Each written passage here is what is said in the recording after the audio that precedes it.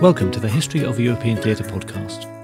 Although the narrative of theatre history is on a between season hiatus, I couldn't let the anniversary of Shakespeare's birthday pass this year without putting an episode together. So, here is a bonus episode with just a few glimpses of the life and times of William Shakespeare. It's called Windows on a Shakespearean Life.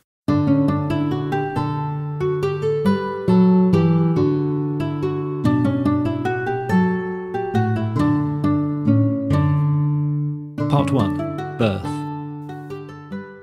Beyond the normal chances of birth, being born in a place and a time that allows for life, good health, education, expression, success, the avoidance of incapacitating illness, serious accident, or plain bad luck that cuts a life short, it's lucky that William Shakespeare survived to adulthood.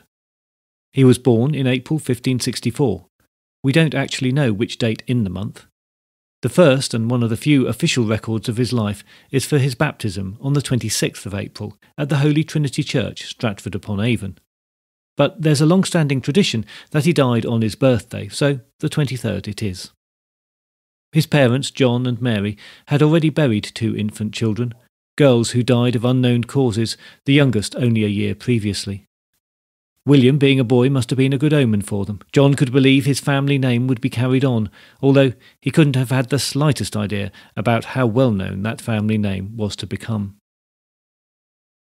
Boys were good news in those days, and William was no doubt kept carefully warm and protected from the chill of a church in April, even as the vicar, one John Bretchgirdle, poured the baptismal waters onto him, taking the infant into the body of the still new Protestant church. The parish records show that at that time the local population of the town and its outlying farms, villages, and hamlets was less than 2,000 souls, so a minor town in a rural setting. In the first half of 1564, the same records show only 20 deaths, but by the end of the year that number had increased tenfold, with about one in seven of the local population dying. The start of the problem is noted in the margin of the record book next to the burial entry for one Oliver Gunn, apprentice, on the 11th of July.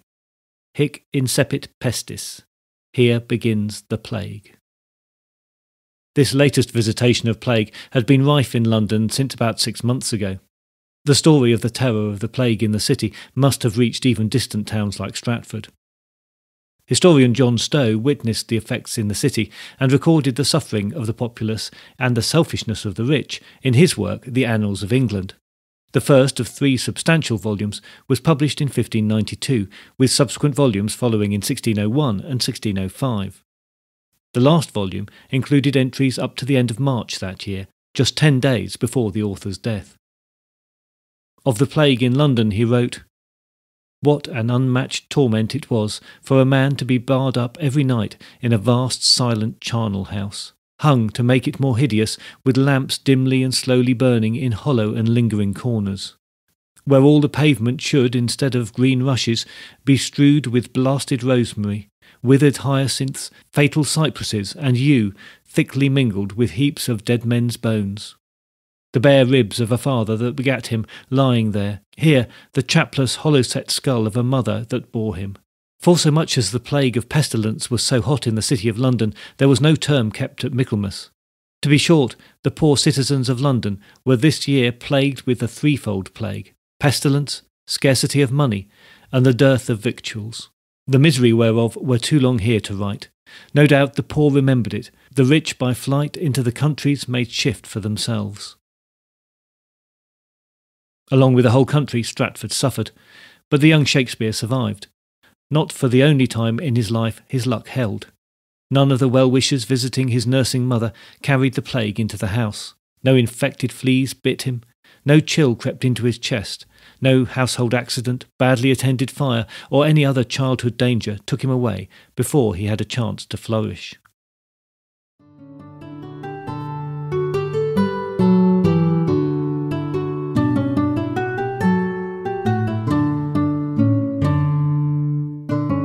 Part 2 The Schoolroom.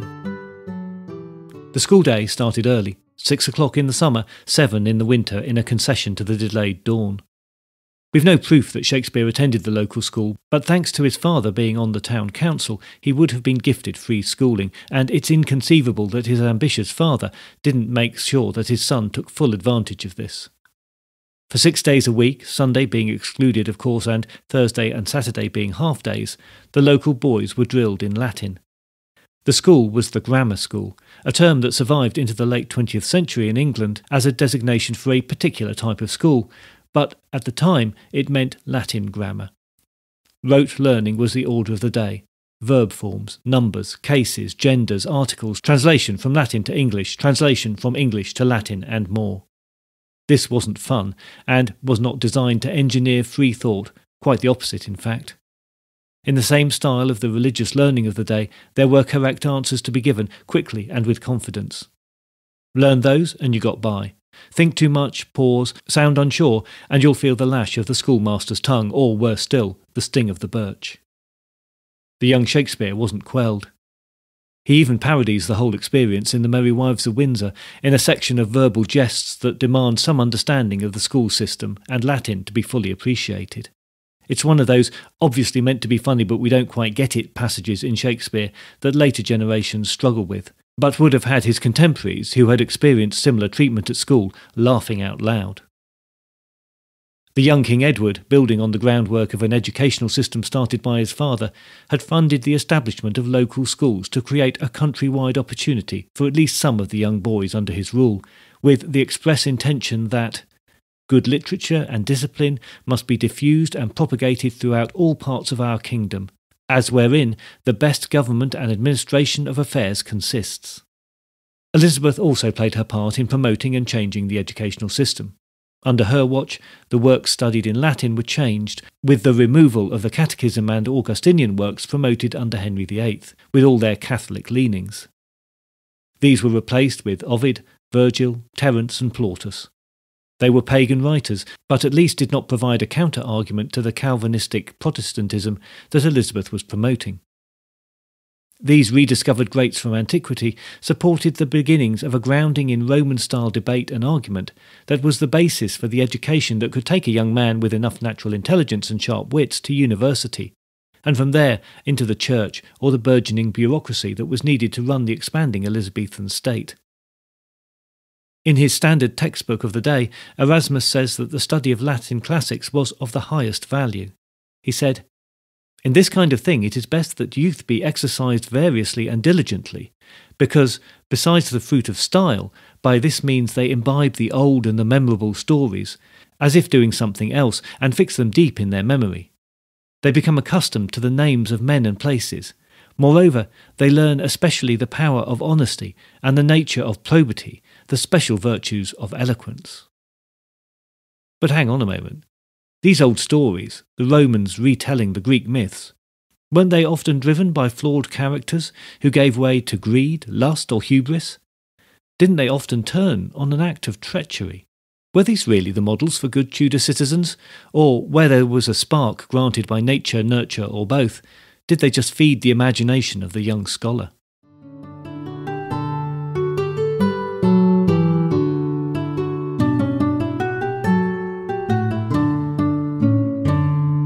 Part 3 The Players. By all accounts, John Shakespeare was not an easy man, but he was certainly ambitious. His glove business was doing well, and he had a profitable side business trading in sheep's wool. He married the daughter of a local farmer and started a family. Then he started to move in local political circles and took on roles in local government. He became the town ale tester, checking the quality of not only the beer, but the bread too, confirming the accuracy of weights and measures at the local court. He was promoted to constable and then to the position of affeeror, the official who collected fees at the local court. Other appointments followed Burgess, then borough councillor, then, as his wife was expecting what was to be her first son, he became the town chamberlain, in charge of the civic accounts. In 1568, he was appointed bailiff of Stratford, that is, the town mayor. That meant that one of his many duties was approving public performances by roving troops of players. It's possible that he took his young son to see some of those performances.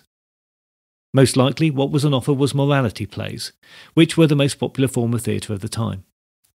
The short plays retold stories from the Bible with the express intention of presenting Christian moral lessons on the importance of good conduct and virtuous character. It's also possible that Shakespeare witnessed the festivities associated with the Queen's royal progress in 1575, when Elizabeth visited the Earl of Leicester's Kenilworth estate, just 12 miles away from Stratford. The royal progress featured lavish pageantry and the production of a customary performance known as the Hock Tuesday play. The origins of this play are obscure. It was traditionally performed on the second Tuesday after Easter, but had been suppressed early in the Reformation because of public disorder that had become associated with it. The presentation in 1575 was a revival that Elizabeth had permitted. The substance of the play is a commemoration of the defeat of the Danes in 1002 by the Anglo Saxon king Ethelred, and consists of a mock battle between English and Danish knights and the defeated Danes being led off by English women. This, in turn, is probably an adaptation of an older custom where, on Hock Tuesday, women could capture or hock a man with a rope. The unfortunate captive had to pay a forfeit to be released, the collected fee going to the local church. The idea that Shakespeare could have been aware of the Queen's progress gains some credibility when we see that much later he references an elaborate water feature that had been on display during the Queen's visit, this in Twelfth Night. Aside from these specific events, Shakespeare would also have certainly witnessed, or at least known about, the many folk festivals that continued to thrive into the 16th century, despite attack from Protestant reformers.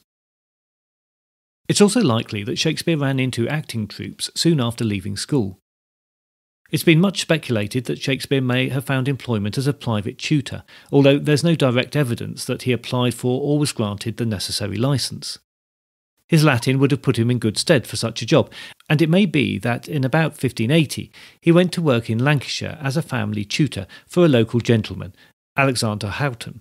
Hoghton was a wealthy man and kept a troop of players in his pay. When he died in 1581, he left a number of musical instruments and theatrical costumes in his possession to his friend Sir Thomas Hesketh, along with a note requesting support for one of his retained men, one William Shakeshaft. If this is young William, budding actor, then Hesketh may have helped him to find a place in the house of his neighbour, Henry Stanley, Lord Strange, who also kept a professional troupe of players, known quite sensibly as Lord Strange's Men. Some members of this troupe went on to form the corps of the Lord Chamberlain's Men, the troupe with which Shakespeare was to have many successes. As for Shakespeare Senior, life got tougher as his son's fame rose. Still riding the wave in 1569, he applied for the granting of a coat of arms, but it wasn't granted at the time for unknown reasons. In the late 1570s, he was prosecuted for illegal dealing in wool and usury, the illegal lending of money. The sums involved in both sidelines were considerable, and the implication is that John made some bad judgments and overextended himself financially. He seems to have been caught in a downward spiral, and in the 1580s he failed to attend council meetings and eventually lost his position as alderman in 1586 due to non attendance. In 1592, he is mentioned with several others as staying away from church from fear of being arrested for debt. In 1576, he withdrew from all aspects of town life and, never able to recover his fortune, lived quietly until his death in 1601.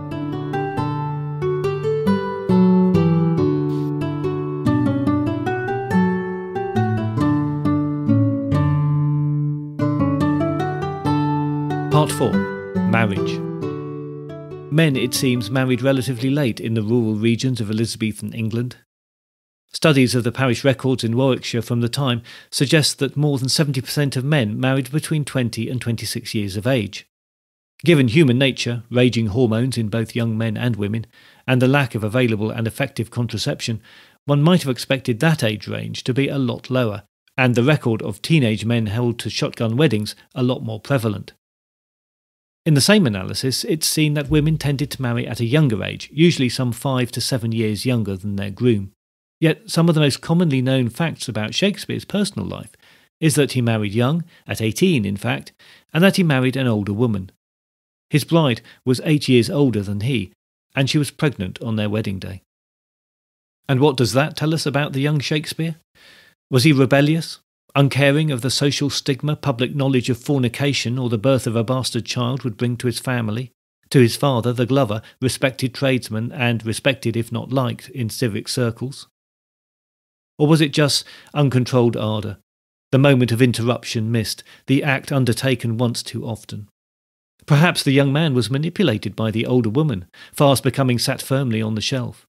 Or perhaps it was he who manipulated this older, wealthier woman as a means to support his ambitions.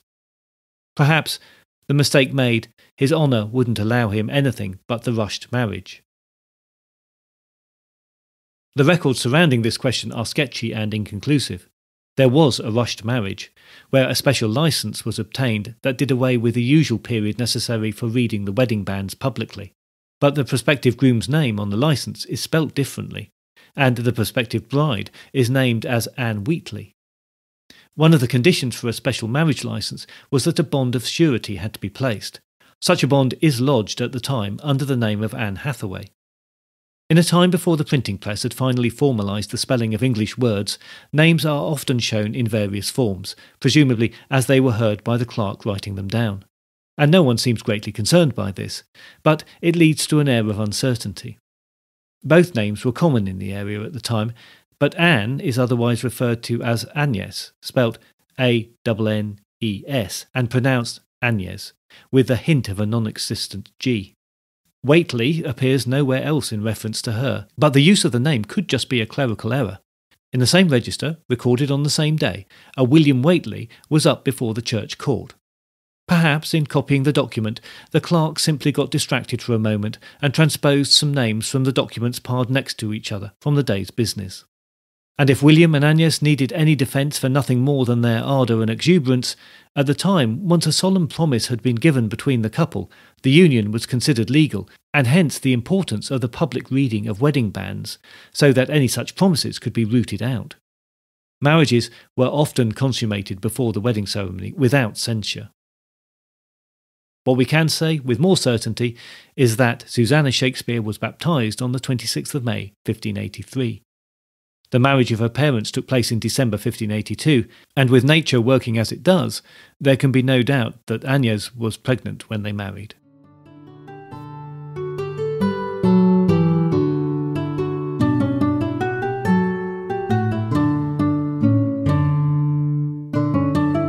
Part 5 Poet January 1593 Plague again.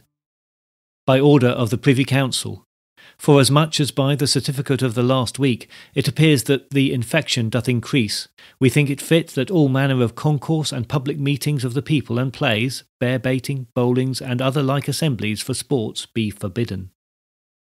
As it transpired, theatres were closed in London for the next eighteen months. Shakespeare was already an actor and aspiring playwright. The acting troupes took to touring in the safer parts of the country, presenting their shows in open spaces and, when allowed, in communal buildings, funded by box office takings and, on occasion, by subsidy from the local councils, happy to see and promote London theatre in their own small part of the world. But for Shakespeare, it was a time of metamorphosis.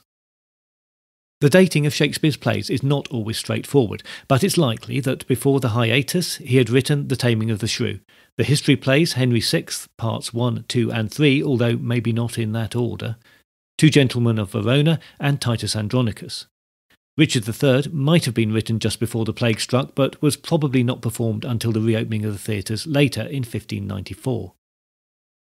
In those 18 months of enforced seclusion, and we can only imagine a slowing of the hectic pace of the life of the young artist around town, Shakespeare stopped being the jobbing actor, the copier of old plays, the man who patched the plays in the repertoire to amend them to circumstances and no doubt improve them. In this time of plague, he became an original poet. April 1593 saw the publication of his poem Venus and Adonis, and it soon became a bestseller being reprinted 15 times before 1640. The content of this long poem pushed the boundaries of what was acceptable in print. His retelling of the unrequited love of Venus for Adonis hit the mark with the young literary set and the undergraduates who appreciated the stylistic challenges of the work that was essentially pastoral, but at times comic, at times tragic, and perhaps most significantly, at times erotic. Likely based on a much shorter version of the story by Ovid, who, thanks to his schooling, Shakespeare could read in the original Latin, and printed in good quarto by Richard Field, another Stratfordian working his trade in London. The poem is dedicated to Henry Wriothesley, 3rd Earl of Southampton. In the dedication, which is in effect a request for patronage from the Earl, the author recognises it as his first truly original work, calling it the heir of my invention. Shakespeare then set about following up this success, and a year later, The Rape of Lucretia was published. Once again, Richard Field was the printer, and the quarto edition was sold by John Harrison from his shop in St Paul's Churchyard. In the dedication of the poem, the author refers to his duty to the Earl, so it seems that his previous request for patronage was well received. Although not as popular as Venus and Adonis, it was still a good seller, going through eight editions before 1641, and more significantly, the originality of these works and the association with Southampton proved that this playwright poet could not only appeal to the penny paying audience in the rough and tumble of the theatre, but to scholars, lords, ladies, and the court as well. The plays Shakespeare produced immediately after the plague enforced hiatus were of a higher calibre than the pre plague plays. Just think of the intellectual brilliance of Love's Labour's Lost, the unparalleled imagination of A Midsummer Night's Dream, and the masterful story development from adolescence to maturity in Romeo and Juliet. Shakespeare had used his time well, and come of age as a poet and a playwright, and was on a course to produce his greatest works.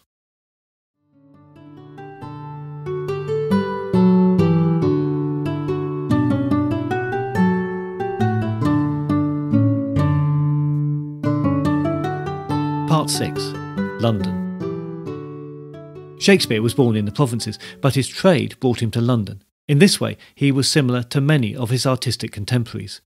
London's population was close to 200,000 souls at the end of the 16th century, making it one of the largest cities in Europe. The diverse population, made up of locals and incomers from the countryside and abroad, made it a lively, exciting, and sophisticated place. But it was also squalid, infested with crime and corruption, and, of course, subject to regular bouts of plague. Shakespeare is confirmed in London by 1592, with a performance of Henry VI Part 1 at the Rose Theatre. But the suggestion is that he'd already been there for several years before that, long enough to start making a name as a playwright and an actor. His first residence at the time was likely in Shoreditch. Then it was a very poor area, made up of poorly constructed shacks and tiny alleyways, where homes leaned towards each other over gutters of flowing human and animal sewage.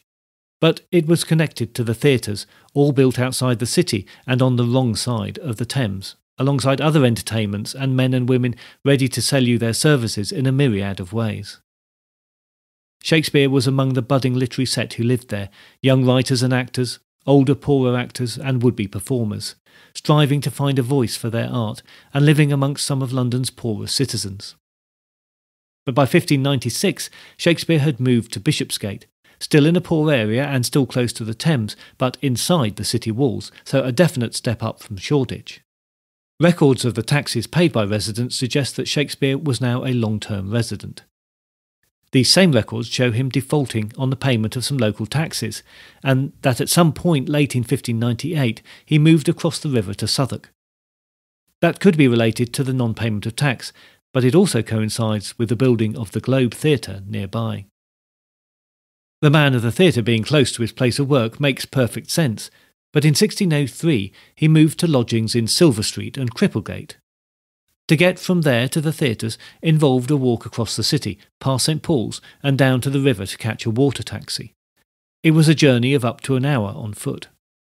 It seems that Shakespeare was distancing himself from the hub of theatre activity, for all the inconvenience that that entailed. By 1603, Shakespeare was at the height of his powers, Henry V, The Merchant of Venice, Much Ado About Nothing, As You Like It, Julius Caesar, and Hamlet had all been produced in recent years, and Othello was about to be unleashed the following year. He was an actor with a familiar face to many. The theatres of the day produced performances daily and were regularly filled with thousands in the audience, especially in the summer months. Standing in front of the stage cost just one penny, and Londoners thronged to the first purpose built theatres. Those in the local area probably attended more frequently than those who had to make the boat trip across the river. So, in the locality, the actors who appeared on stage daily, performing a different part regularly, and changing plays often if the box office takings dropped, were well known. Shakespeare, as a playwright and poet, was also part of his public persona. He was referred to in poems and topical comedies of the time, had been critiqued by those who thought him above his station, and praised in print by those who saw his genius. His name is mentioned in anecdotes from the Inns of Court. He was a celebrity, and we can wonder if this move away from theatreland, this detachment from the world of public entertainment, was a deliberate move. Silver Street was a quiet, respectable area, perhaps what we would now call a bolt hole, where a well known face could hide and find some peace and quiet.